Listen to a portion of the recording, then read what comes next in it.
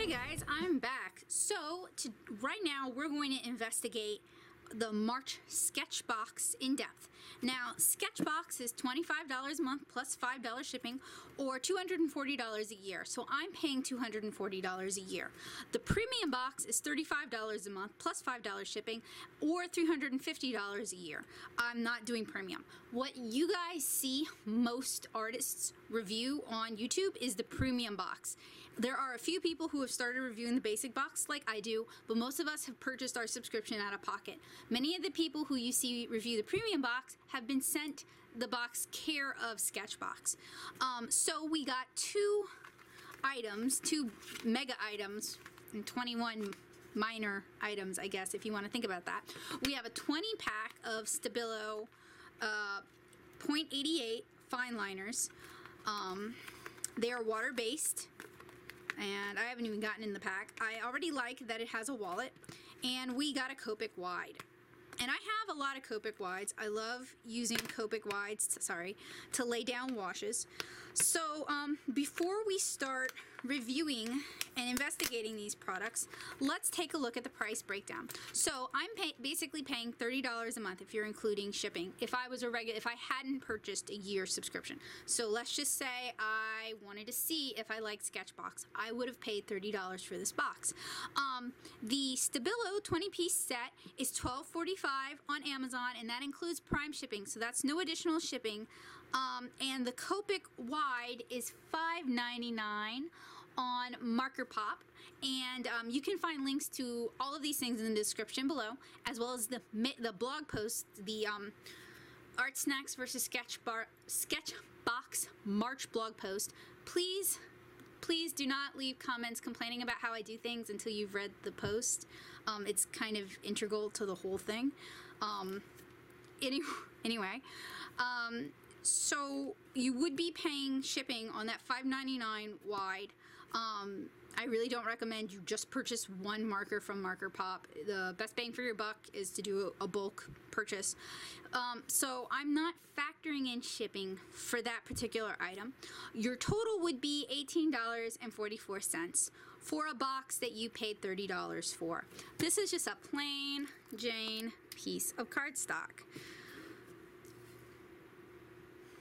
Not marker paper, it's not fancy. Copic wides are alcohol based. This has water in it. This has colorless blender in it. This has rubbing alcohol in it. This has water in it. And I'll say which one is which in a minute. Copic wides are great for carefully laying down wide areas of color. Now you can get streaking because it can be difficult to overlap them just so. And if your hand's shake any, it's going to be kind of wobbly like mine.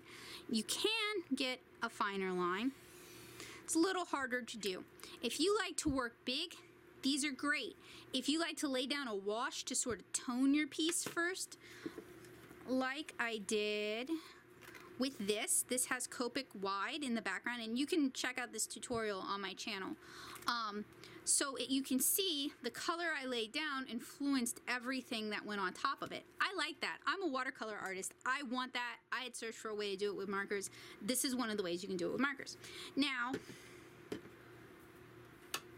this is going to react to this. This is my Copic colorless blender.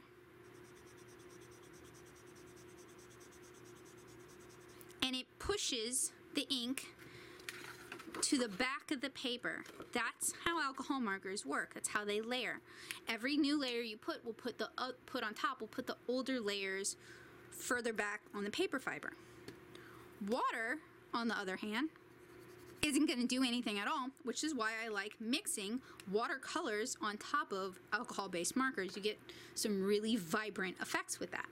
Now, rubbing alcohol will also affect your marker. It's going to affect it the same way your colorless blender did, by pushing it to the back of your paper. Water, even in a spray bottle, is not going to affect it at all. With these, you can do something kind of neat. Not only can you do line art with them, and your alcohol marker shouldn't affect them, so I'm going to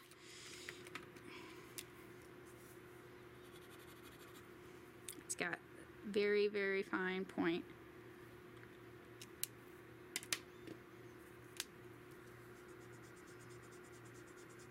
So you can actually, and let me let me zoom in. Let me show you guys. See, no smearing.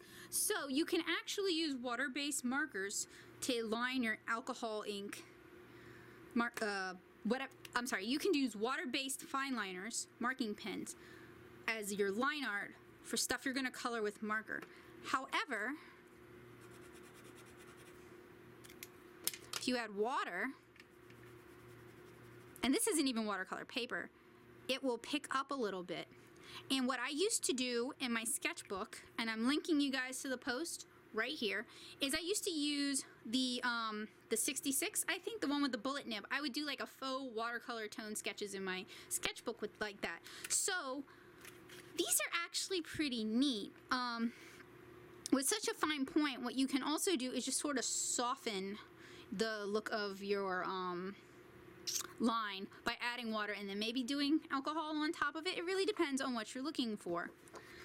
You can even do fake watercolor painting with these. And um, an artist I follow on Instagram, Looney Lolita, does some amazing work using these and maybe the 66s to create a palette for herself.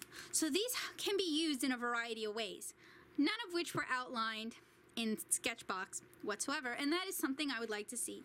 If Sketchbox is going to send us commonly available supplies, I think it would be phenomenal if they, with the permission of the artist or working in conjunction with an artist, created tutorials that they linked on their card to show people a new technique or a new way of thinking of these common materials.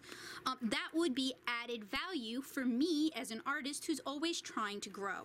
So, um, while I'm not unhappy or dissatisfied with what I received in this box, I do feel like the value of these materials was not worth the price of the subscription box, so I am disappointed in March's sketch box. This isn't my final verdict, however. You should read the blog, natosoup.blogspot.com, to find out what my final verdict on these reviews, these boxes are.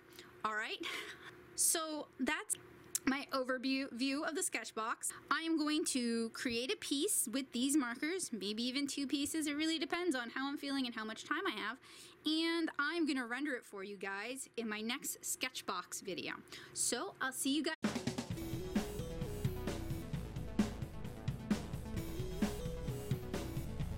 Hey guys, I'm back. So to, right now we're going to investigate the March Sketchbox in depth.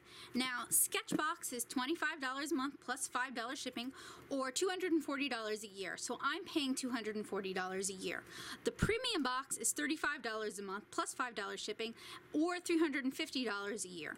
I'm not doing premium. What you guys see most artists review on YouTube is the premium box. There are a few people who have started reviewing the basic box like I do, but most of us have purchased our subscription out of pocket. Many of the people who you see review the premium box have been sent the box care of Sketchbox.